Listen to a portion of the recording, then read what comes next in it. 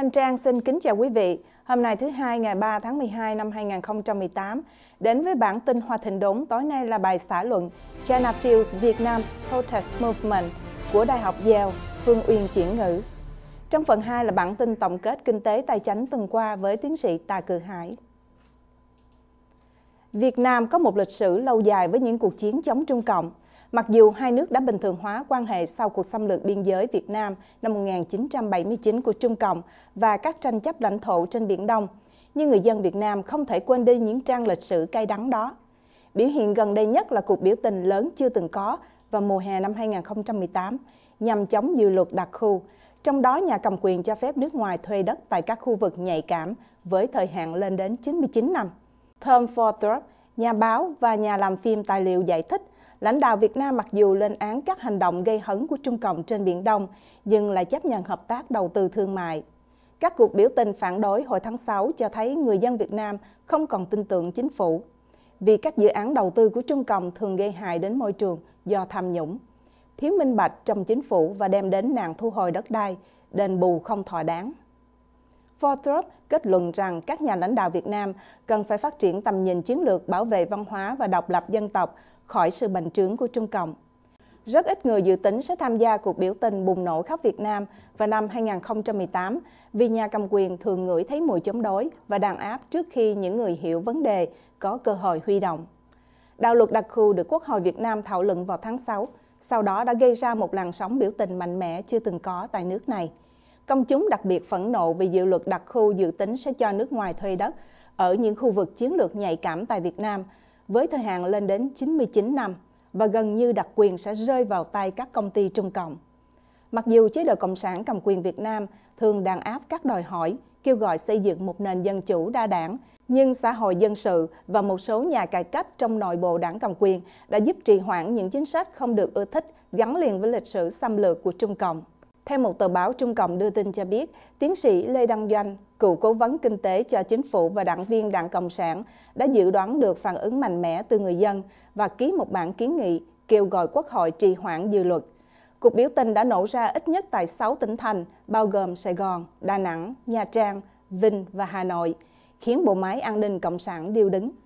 Một loạt các cuộc biểu tình nhỏ hơn trong những năm gần đây hầu như chủ yếu chống lại các tuyên bố chủ quyền Trung Cộng tại các đảo trên Biển Đông. Anh Chi, một nhà bảo vệ nhân quyền và blogger, được theo dõi bởi 42.500 người dùng Facebook, giải thích những cuộc biểu tình của người Việt gần đây chống lại sự xâm lược và bành trướng của Trung Cộng trên Biển Đông ngày càng mạnh mẽ hơn.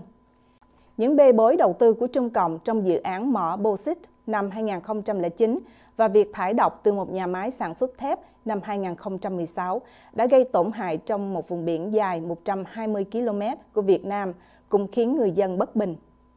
Theo số liệu của Liên Hiệp Quốc, tỷ lệ tiếp cận Internet của Việt Nam chỉ hơn 60%, nhưng Việt Nam là quốc gia có lượng người dùng Facebook lớn thứ bảy trên thế giới với 58 triệu người. Các nhà phê bình nghi ngờ rằng Trung Cộng đã giúp Việt Nam kiểm soát các tiếng nói bất đồng trên không gian mạng, nhưng thừa nhận không có bằng chứng. Blogger Mạnh Kim viết hồi tháng 6, không thể loại trừ việc Trung Cộng giúp Việt Nam thiết kế và trang bị cơ sở hạ tầng an ninh mạng để kiểm soát người dân. Cuộc tranh luận về dự luật đặc khu đã lan truyền khá sôi nổi trên các phương tiện truyền thông xã hội. Đức Giám mục Paul Nguyễn Thái Hợp, một nhân vật hàng đầu của cộng đồng công giáo Việt Nam, đã viết trong một bản kiến nghị với Quốc hội rằng dự luật kinh tế đặc biệt này có thể gây hại cho lợi ích quốc gia của chúng ta, đặc biệt là an ninh và chủ quyền Việt Nam. Trung Cộng có thể thông qua các tập đoàn đầu tư để chiếm lấy những vùng chiến lược nhạy cảm này như một cuộc xâm lược mềm. Anh Chi cho biết, hiếm khi thấy Quốc hội quan tâm đến ý kiến công chúng. Đây là cơ quan lập pháp nhưng chỉ đóng vai trò như một con dấu cao su cho Ủy ban Trung ương Đảng Cộng sản. Mặc cho bị đàn áp, hàng chục ngàn người Việt Nam đã mạo hiểm phản đối trên không gian trực tuyến hoặc biểu tình trên các đường phố chống dự luật đặc khu. Chuyên gia Việt Nam Carl Thayer giải thích, dự luật này có thể mang lại lợi ích kinh tế, nhưng đây là các địa điểm nhạy cảm.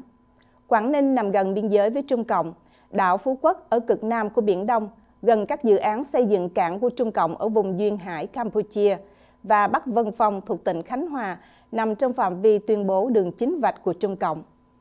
Trung Cộng có thể trở thành nhà đầu tư lớn nhất trong ba khu vực do sự thống trị kinh tế và mở rộng tầm hưởng nhanh chóng trong khu vực Mekong thuộc Đông Nam Á, một phần kế hoạch của sáng kiến vành đai và đường bộ của Trung Cộng. Tiến sĩ Vũ Quang Việt, cựu chuyên viên cao cấp của Liên Hợp Quốc, nhà quan sát thời sự và chính trị quốc tế, hoài nghi về những lợi ích được dự luật đặc khu dự đoán. Ông nói các ưu đãi được đề nghị sẽ chỉ khuyến khích phát triển bất động sản và các dự án sông bạc.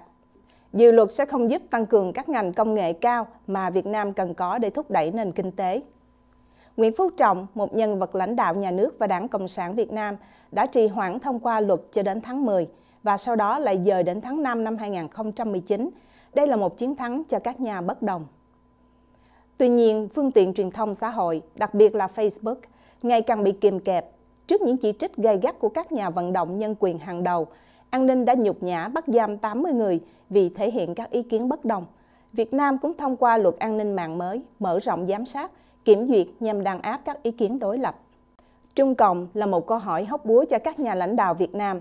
Học sinh Việt Nam được dạy rằng các hoàng đế và vua chúa Trung Cộng đã xâm lược và chiếm đóng Việt Nam gần một thiên niên kỷ, từ năm 111 trước công nguyên cho đến năm 938 sau công nguyên. Gần đây nhất là cuộc chiến biên giới năm 1979, Trung Cộng đã xâm lược Việt Nam với lý do nhằm trừng phạt Hà Nội, lật đổ chế độ Pol Pot tàn bạo tại Campuchia. Trung Cộng và Việt Nam đã bình thường hóa thương mại và ngoại giao năm 1990.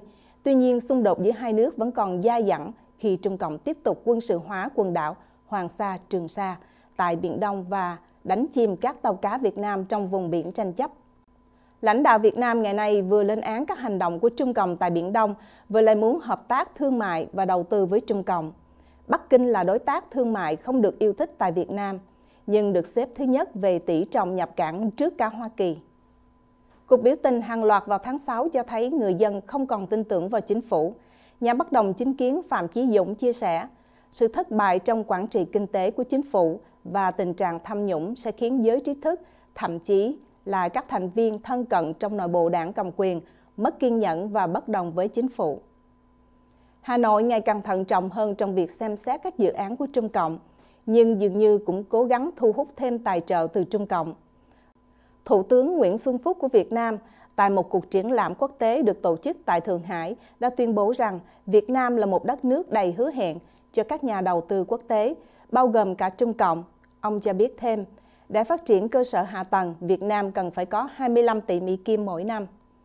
Tư tưởng bảo thủ của Hà Nội gần giống với mô hình của Trung Cộng.